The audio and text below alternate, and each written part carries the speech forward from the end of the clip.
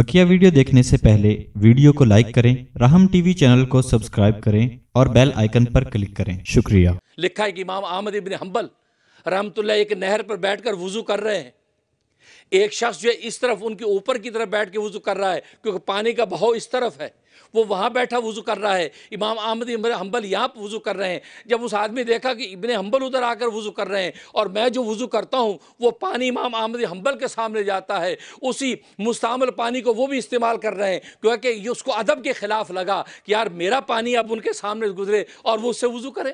वो वहाँ से उठा, उठकर इमाम अहमद अम्बल के इस डाउन साइड पे बैठ गया कि वो वज़ू करे, उनका पानी मेरी तरफ़ आए, मेरा पानी उनकी तरफ़ आए, ये मुझे अदब के ख़िलाफ़ लगा है लिहाजा उधर बैठ कर वज़ू करने लगा कि ये अदब के ख़िलाफ़ है। हाँ उनका अगर मुस्तमल पानी आता है, वो मेरे लिए शहादत है, लेकिन मेरा पानी उधर जाए, नहीं, इबन हम्बर इतना बड़ा इमाम, यार नहीं, मैं उधर जाता हूँ, उधर बैठ गया।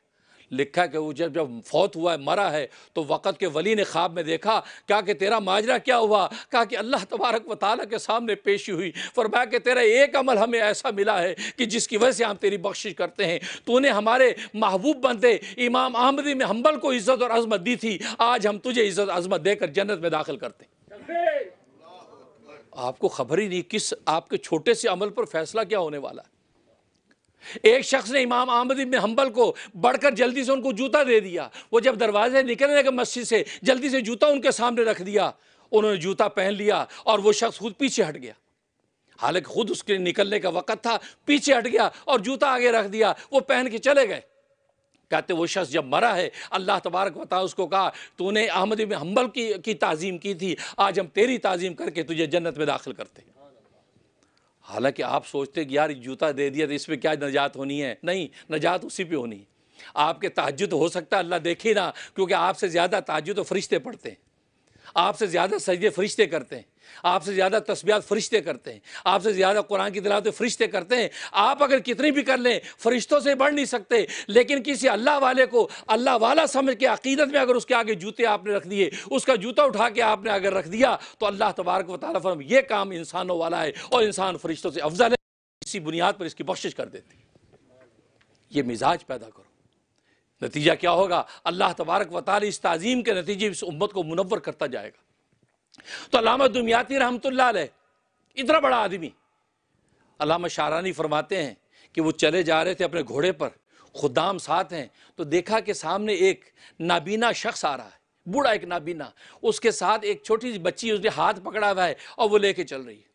जैसे हज़रत देखा, नीचे ज़मीन पर उतरे और आके जल्दी से उन नाबीना बूढ़े शख्स को मुसाफा किया और मुसाफा करके उनका हाथ पकड़ के साथ साथ चलने लगे। काफ़ी देर तक चलते रहे। जब चलते रहो, उनका मुकाम आ गया, वहाँ चल के वापस आ गए। तो शागिर्द उनके, हज़रत, ये कौन है? आपकी अजमत का आलम यह कि मलाइक वक़्त के बादशाह आपका इंतज़ार करते हैं। और आवाम की मोहब्बत का आलम ये, लेकिन ये बड़े मियाँ कौन है नाबीना जिसका हाथ पकड़ के आप चल रहे थे? फरमाया कि ये नाबीना वो हैं कि बचपन में इन्होंने मुझे कुरान थोड़ा सा पढ़ाया था।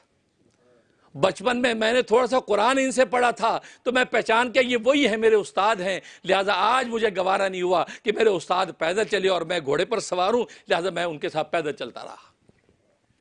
क्या आज हमें आज हमें इस किस्म का अदब है? बचपन में किसी से नूरानी कायदा पढ़ लिया, आज ये नूरानी कायदा पढ़ा था, कोई इतनी बड़ी बात तो नहीं है। हाँ बुखारी शरीफ अगर किसी से पढ़ी है हाँ यार चलो उसकी तो इज़्ज़त हम करें, भाई शेखुल हदीस साहब हैं। अरे अल्लाह के बंदे, जिसे नुरानी कायदा तुम्हें पढ़ाया है, उस नूरानी कायदे के बगैर आप बुखारी तक पहुँचे कैसे हैं? आप कुरान के हाफिज बने कैसे हैं? वो नुरानी कायदा पढ़ाने वाला जो कारी हाफिज है, उसने जो काम कर दिया है, उसने जो बुनियाद डाल दी है, वो बुनियाद वो शेखुल हदीस भी पैदा नहीं कर सकता। और आपकी नज़र उस मुहदस मुफसर पर है, उसकी इज़्ज़त हम करेंगे। और नूरानी कैदे वाले कारी साहब और साइड पे जाओ। कारी साहब, आपके घर बच्चा पढ़ाने आते हैं, दरवाज़ा ही नहीं खुलता, बैले मार रहे हैं। हाँ जी, अजी आज छुट्टी करें आज बच्चा सो रहा है। अजी आज हमने पार्टी में जाना है। वो कारी साहब बेचार पता नहीं कितनी दूर से कई मील से साइकिल चला के पहुँचता पढ़ाने के लिए। आपका तो पैसे देते हैं यार कोई कमाल है? अब पैसे दे के पढ़ाते हैं, कारी साहब, मुफ़्त पढ़ाते हैं। देखो, इसे अलामा शारानी फरमाते हैं कि जिसने अपने बच्चों के उस्ताद की इज़्ज़त ना की, अदब ना किया, खिदमत ना की, फरमाया कि उसकी औलाद को इलम अल्लाह तबारक वाली अता नहीं करते हैं।